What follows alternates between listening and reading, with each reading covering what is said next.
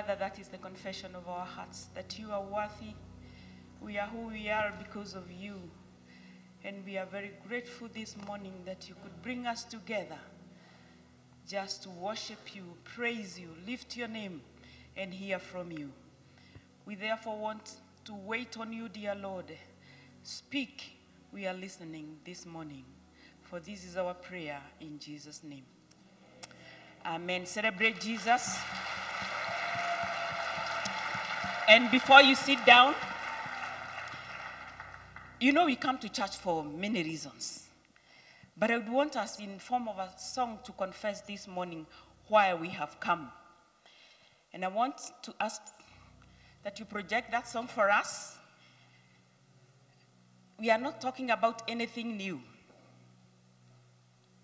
Ancient words passed down to us. And I want to us to confess as we sing that song this morning. Amen.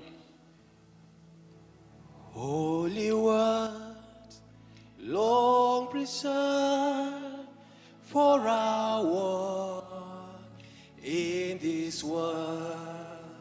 There is a wisdom on high.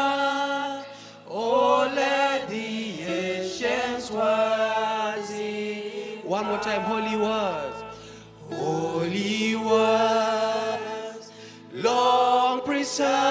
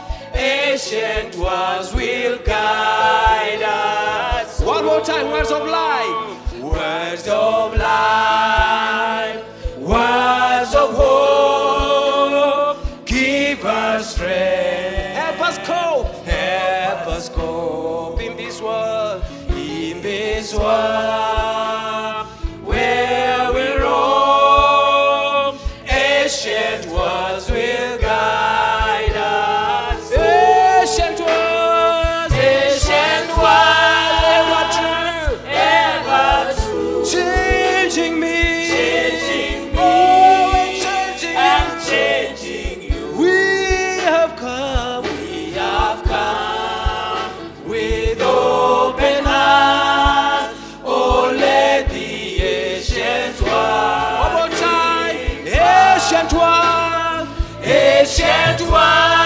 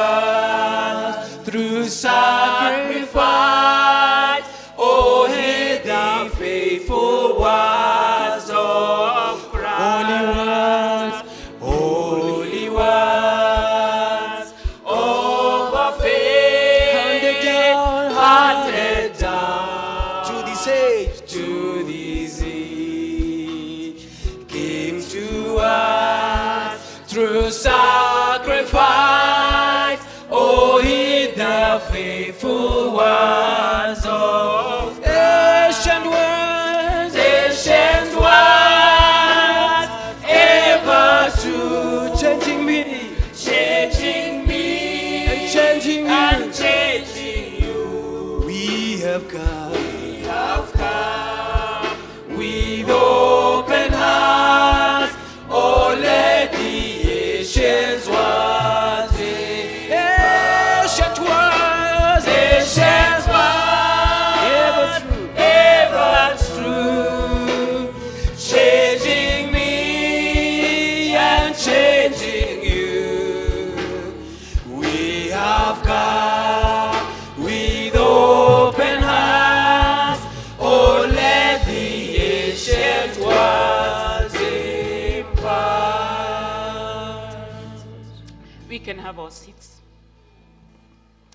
pray that is your attitude that this morning you, are, you will allow the word of God to change you as I allow the word of God to change me. We have come with open hearts. That is the attitude, the winning attitude in the house of God.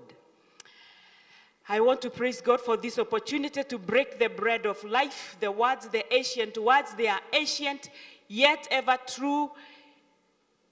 And I'm so glad that the Lord has given me this opportunity. And I know that His word, may you receive your Rhema word this morning. May you not live the same because you have come with an open heart. I also know that in this service this morning, we have two broad, two broad categories of people present. The first category, you are pursuing the abundance of God. You have read in many places in the Word of God, and God talks of abundance. And you feel you are not yet there. You are pursuing that abundance. I also know there are some of us present here. You had maybe received the abundance, but right now you are very busy resisting the enemy who is trying to encroach, the enemy who is trying to encroach on your God defined space. God had blessed you with health. All of a sudden, you are erring. You are busy resisting that. So maybe you are looking for abundance, pursuing abundance, or maybe you are resisting the encroachment of the enemy. I've got good news for you this morning. For both of us, for this purpose, Jesus came to give you the abundance and to destroy the works of the enemy, the works that you are fighting this morning. For this purpose, Jesus came. Therefore, this morning, the secret, the open secret, is to receive the word, not the word of man, that ancient one.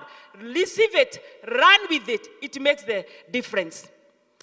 In the book of John, chapter 21, verse 3 and 6, in New Living Translation, John 21, 3 to 6 says, Simon Peter said, This is after crucifixion, and Jesus has been risen, and now the disciples are here. They are confused. They have not yet come into terms. They are counting the roses.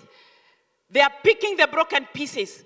And it is in, in this situation, in verse 3 to 6, um, Simon Peter said, I am going fishing. That is Peter saying, I am going fishing. And the other said, We will come too. They all said. So they went, went out in the boat, but they caught nothing the whole night. Next verse. At dawn, Jesus was standing at the beach. But the disciples couldn't see who he was. He called out, Fellows, have you caught? Have you caught any fish? No. Okay. Let me read mine. The pace we are going, they are losing me. At dawn, Jesus was standing on the beach, but the disciples couldn't see who he was. He called out, Pharaohs, have you caught any fish? No, they replied. Then he said, Throw out your net on the right hand side of the boat, and you will get some. So they did, and they couldn't haul in the net because there were so many fish in it. The difference between the word of Peter and the word of Jesus, the word of man and the word of God, the two are different. When Peter told them he, he's going fishing and they said they go, they caught nothing the whole night. But when Jesus told them to go and throw the net on the right side, the Bible says they got so much they could not, they had to ask for help for them to remove the fish. What am I trying to say this morning? That it is the word of God that you need.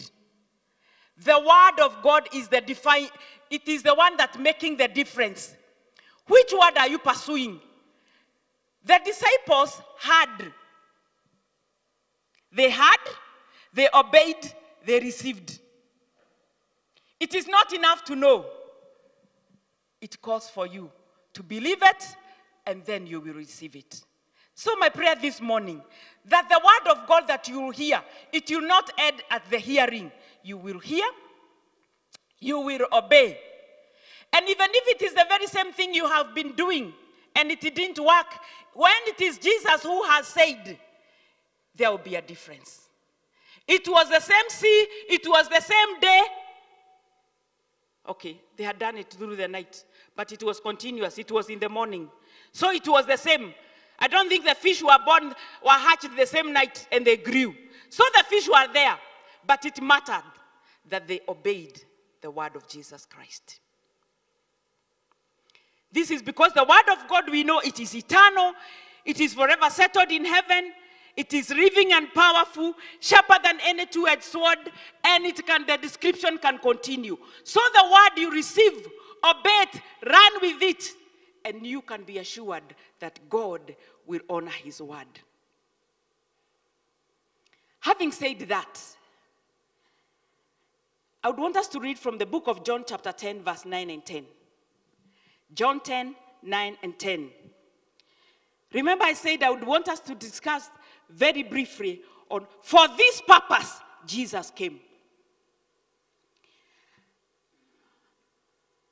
Yes, I am the gate. Those who come in through me will be saved. They will come and go freely. The thief's purpose is to steal and kill and destroy. Hold it there.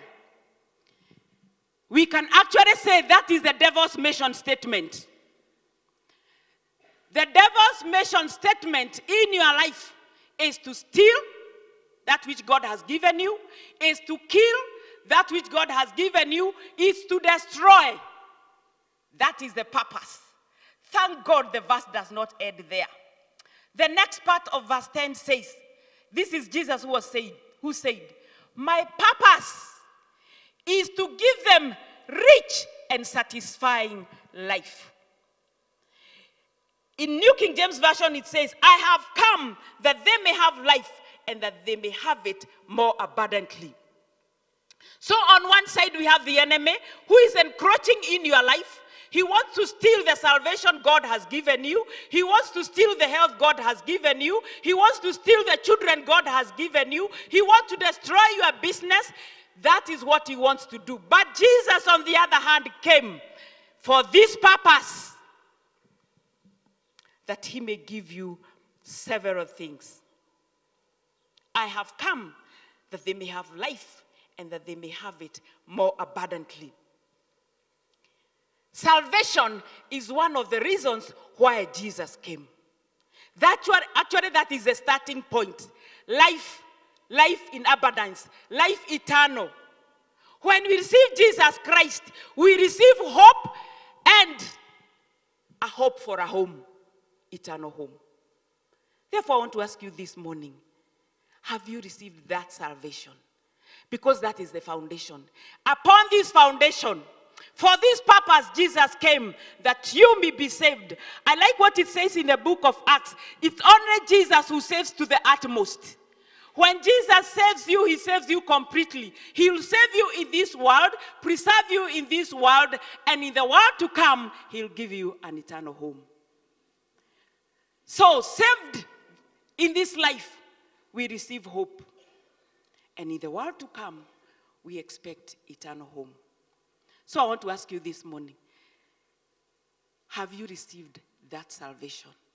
That is the starting point. Maybe you had received it. You don't know where it is slipped.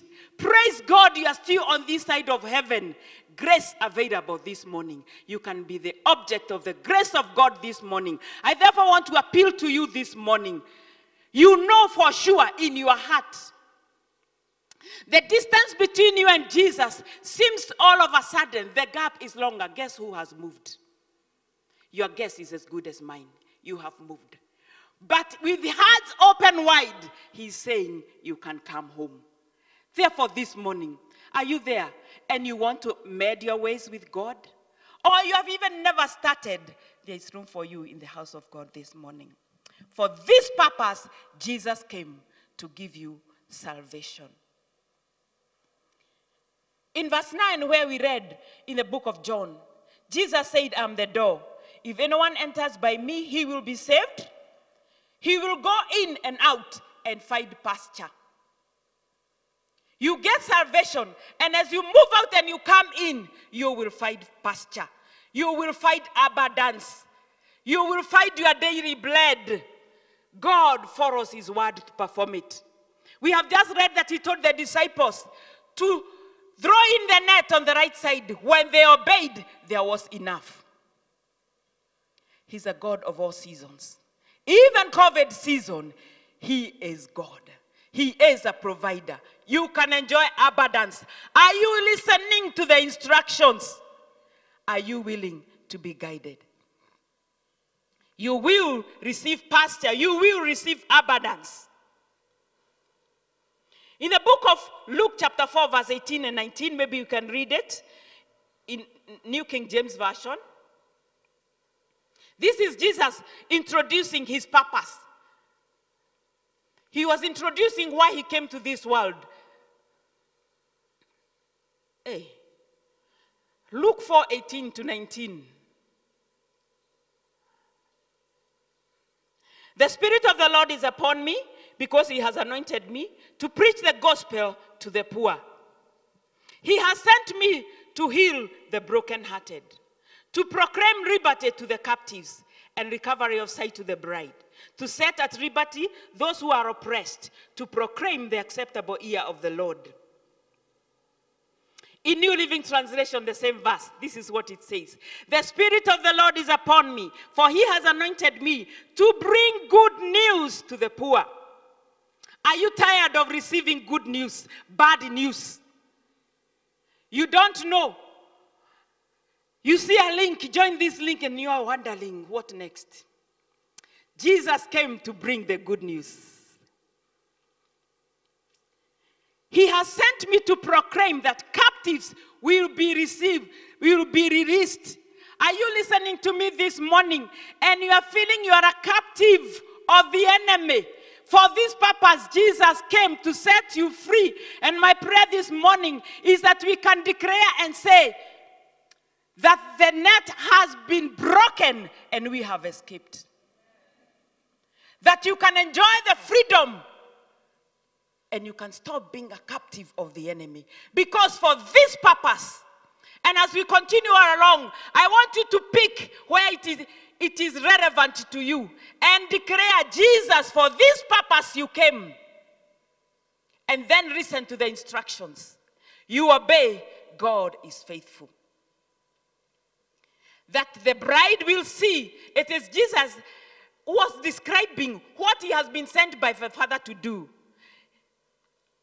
that the bride will see, that the oppressed will be set free, and that the time of the Lord's favor has come. Your time of favor has come. Why? Because Jesus has come, and this is his mission statement to give you abundance, to set you free, to make you a showcase of his grace that you can survive even in corona season to the glory of his name. So he brought us the good news, he brought us salvation. Have you received Jesus as your personal Savior? For this purpose, He came.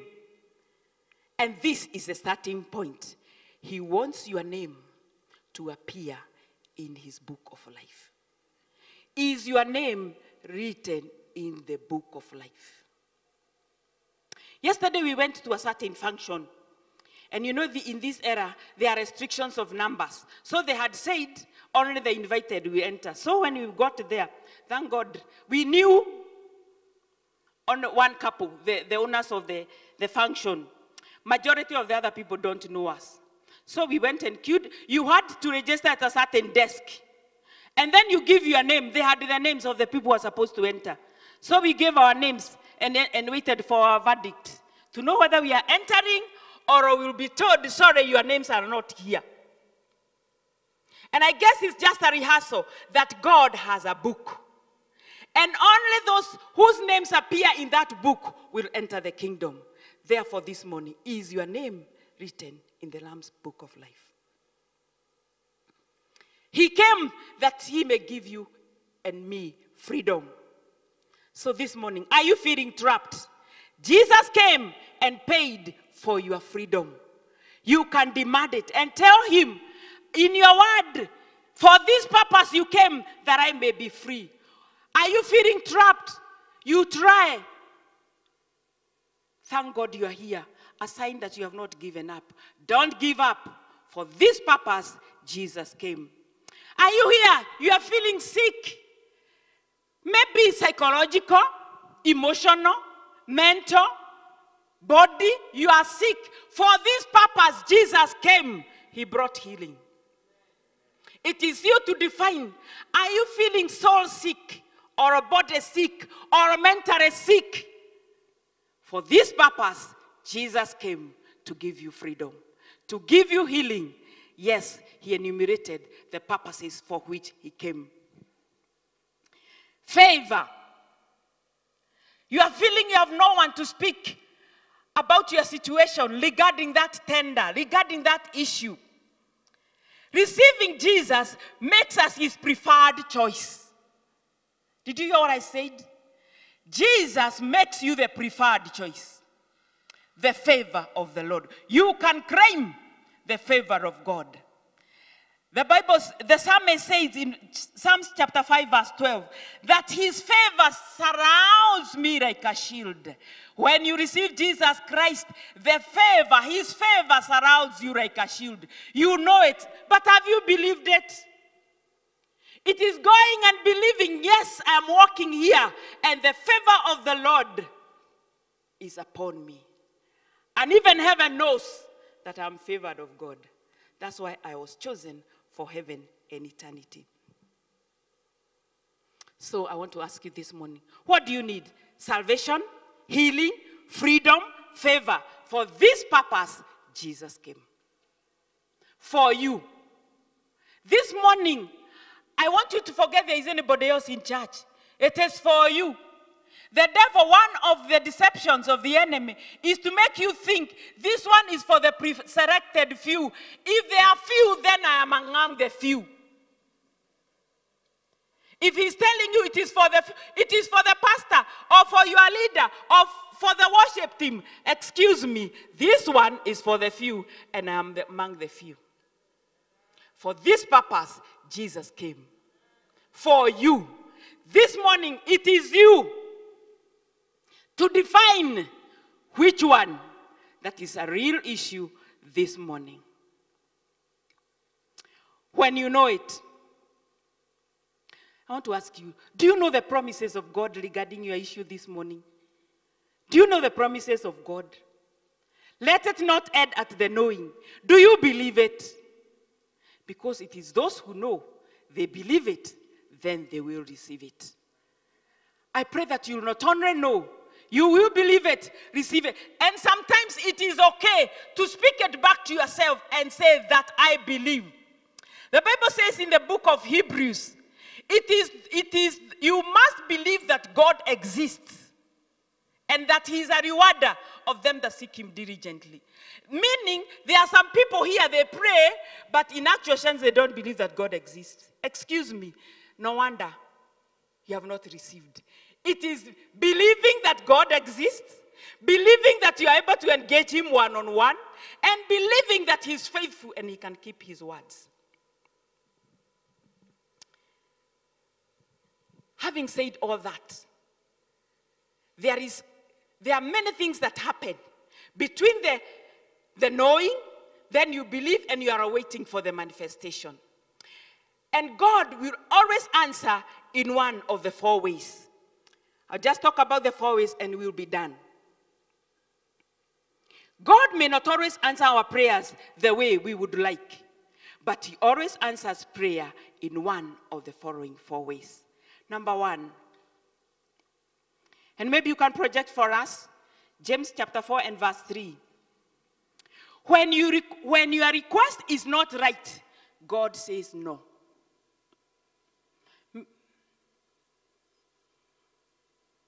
Hey, there's a conspiracy there. Let me magnify, yes. You ask God for something and do not receive it because you ask Him with wrong motives, out of selfishness or with an righteous agenda. So that when you get what you want, you may spend it on your hedonistic desires. Hold it. What is your agenda? What is the agenda of your request this morning? What is the agenda? What is the motive? That one, when the motive is wrong, when the agenda is wrong, God will say no. It is not just asking, it's not just knowing and then asking. God reserves the right how to answer it because He knows your agenda, He knows what you want, He knows. Some of us, He knows He gives you that which you want. He will, that is the last time He'll ever see you in church. All of a sudden, that is the last time uh, He'll see you reading the Bible, seeking the will of God. So, to God, the agenda of your asking matters. So when your request is not right, God will say no. The second way that God will answer. When you are not right, God, when you are not right, God says, grow. You are not right, God says, grow. Maybe God wants to give you something, maybe even a blessing so big you can't imagine it, but you are not ready for the responsibility. It could even cause stress in your life if He gave it to you. Do not stop praying. Keep reading, keep waiting. Galatians 4, verse 1 and 2. We are saying when we ask God, He may not answer immediately because, as far as He's concerned, you are not ready for the responsibility. So He will wait for you to grow up. Could that be you have not yet received because He wants you to grow up? Now, what I mean when I talk about children and their guardians is this.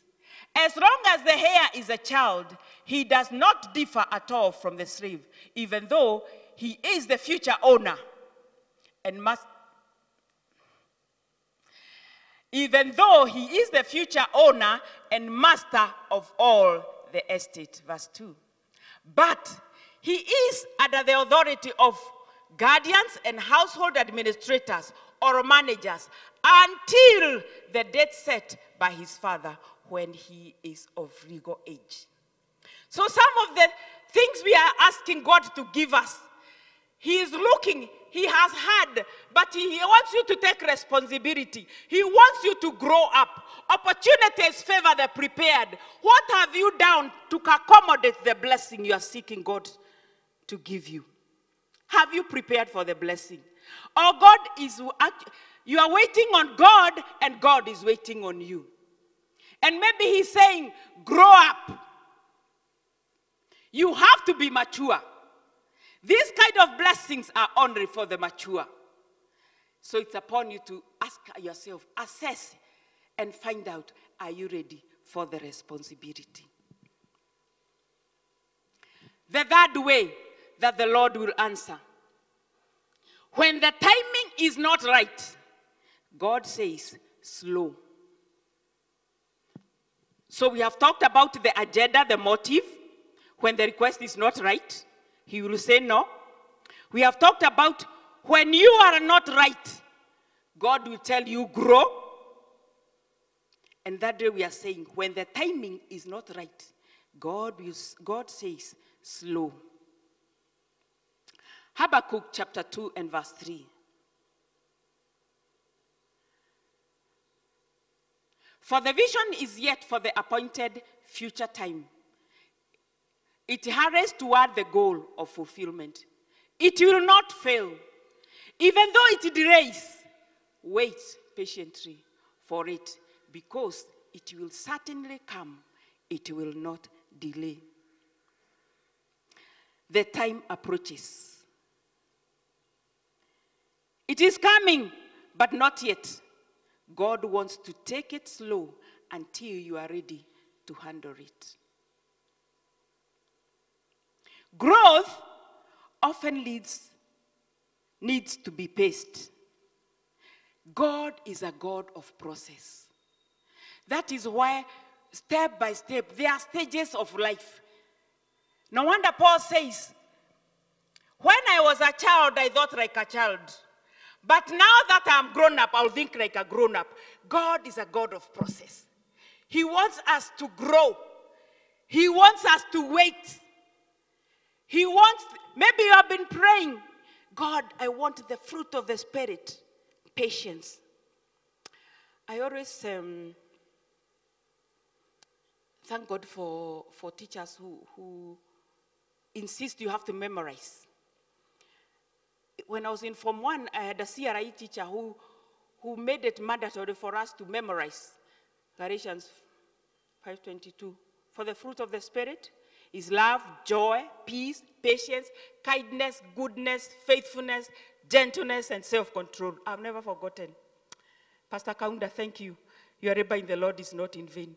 When you insist, and I like, you have got very faithful followers. You have to start with the verse, John 3.16, and end with the verse, John 3.16. And no wonder, the Bible says, train up the child, and even when they grow up, they will not forget. I've not yet forgotten. Almost 50 years down the line, I can still say the memory verse. God is a God of process. He wants us to grow. It will come. How well can you wait? You know, some of us have no grace of waiting. Some of us give up when it's just about to come. But God wants you to grow because your character grows while you wait. So, when your request and the timing and your character are all lined up, that is number four. When your request and the timing and the character are all lined up, God says, Go and you receive your miracle. So God is interested with the time, He's interested with your character, He's also interested with the timing. When you run ahead of Him, you miss out. Have you ever tried to imagine when the children of Israel were moving through the wilderness and there was a crowd that used to read them? I just want you to imagine if there was one Mujuaji in the, in the congregation who said, I am not going today. And it's in the wilderness, there are no trees, there are no umbrellas, and the crowd is moving. Your guess is as good as mine, the consequences. So God wants you, your antennae, to be up. What is He saying? You will never skip any stage of life. You will repeat even no matter how old you are. You will keep on repeating because He's interested with your character. He knows that character will hold all the blessings together. He knows that when you have walked with Him, even when you meet challenges, you will remember the God who saw me through, through last year, He will do it even this year. He's very interested. He wants you to mature up. He wants me to mature up. He wants you, you to know for this purpose He came, but terms and conditions apply. That is why I started by saying salvation is the basic. Ephesians 6, verse 18 says, Pray in the Spirit at all times and on every occasion. Stay alert and be persistent in your prayers. You don't pray persistently because you are trying to convince God. You pray persistent so that you are ready when God says go. You keep on waiting, keep on waiting until God says go. And you know the timing of God. When the children of Israel were crossing the Red Sea, there was a green light, yet there was a sea in front of them. Green light, yet they were in the red. Danger ahead. And then there was green light. But because it was the green light of God, they walked on dry land. When it will be God's timing, you will walk irrespective of the season, irrespective of who is supporting you or not. God's vote for your life is enough. For this purpose, He came that you may enjoy life in abundance. But He has a demand on you. Did you know you can try and help somebody get a job in a certain institution because the person has got papers? But the retaining of the possession will depend on the performance. Because, okay, now if you go and you had said this, your papers are saying you can do A, B, C, D. And then me as Alice Kimani have sent you there. And maybe because I knew the person there, you're given the opportunity. After all, you have the qualifications. I go back home, I leave you with your boss. But you are doing zero. God has an expectation. God wants you to perform. God wants to work on your character.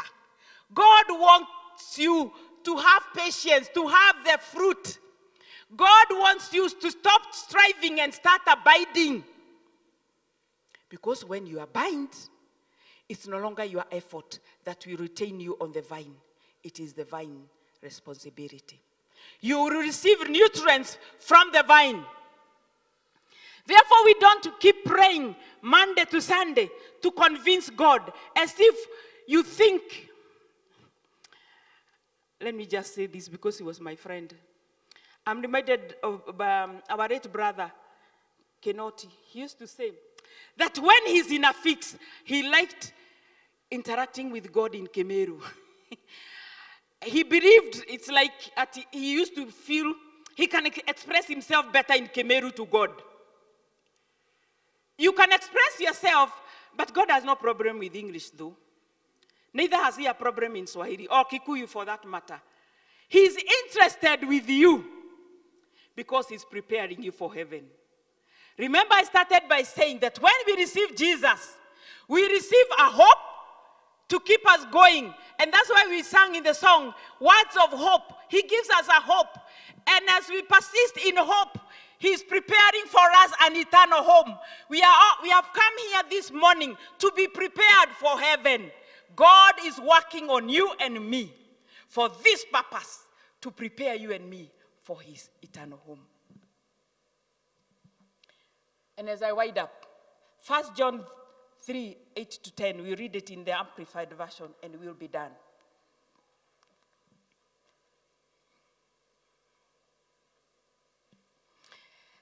The one who practices sin, separating himself from God and offending him by acts of disobedience, indifference, or rebellion is of the devil, and takes his inner character and moral values from him, not God. For the devil has sinned and violated God's law from the beginning.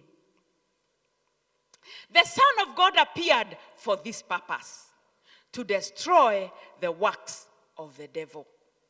Those things I've talked up there about disobedience, indifference, rebellion. For this purpose, Jesus came to destroy those works. the devil wants to take your inner character, your moral values, and spoil them until you are not in terms with God.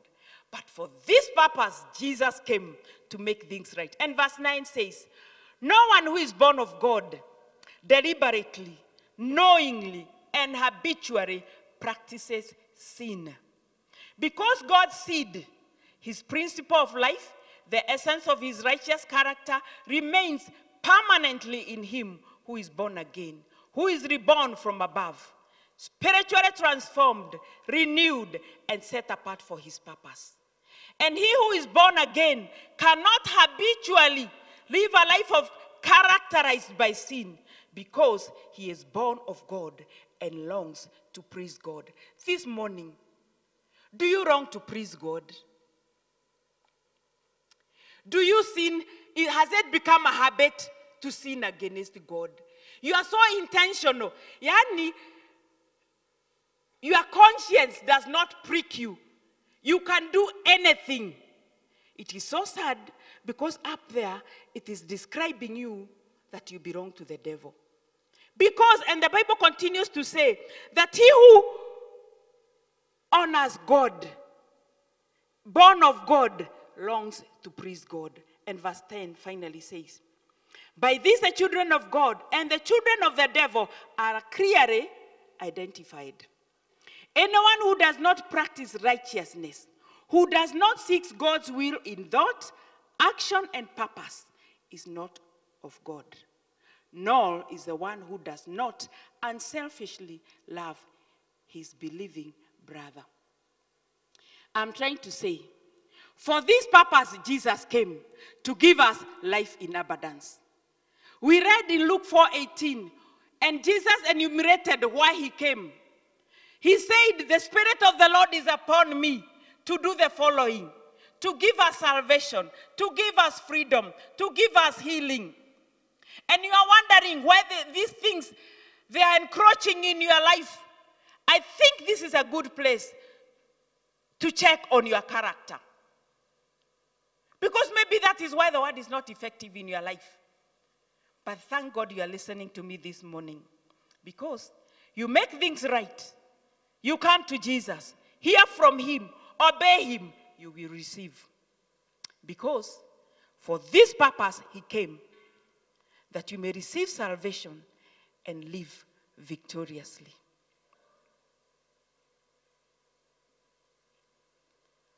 So I don't know where you're finding yourself. Remember, I've said God sometimes will not answer for various reasons. Maybe He's looking at you. He looks at the agenda, He says no. He looks at you, you have refused to grow up. And He says, first of all, grow, go and grow up. He looks at the timing, He knows this is not right, He tells you slow.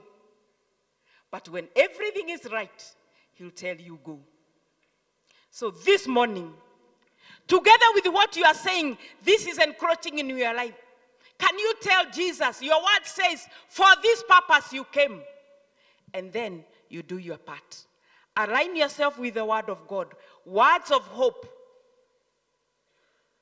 With open heart, allow the word to form you. Be ye transformed by the renewing of your mind. Because it's after we do this, we will boldly claim that which is ours, and God will graciously give it to us. Let us pray. Our Heavenly Father, we want to thank you because your word tells us that your promises are yea and amen. And this morning, dear Father, we come to you. We came because we want abundant life. But you have reminded us that you have a demand on us. How we pray that, Lord, you give us the grace that we will keep our bargain and then put you to task, even to fulfill that for which you came for. We want to thank you for giving us an opportunity to align ourselves with your purposes that we may enjoy abundant life in this life and life eternal in the world to come. We honor you this morning. I want to pray for your sons and daughters this morning. They have heard your word. I pray that each one of us will pick that which is relevant to them and be able to decode whether you are saying no, whether you are saying slow, whether you are saying grow, or you are saying go. This is our prayer this morning. We honor you, we bless you, for it is in Jesus' name we pray. Amen. The Lord bless you.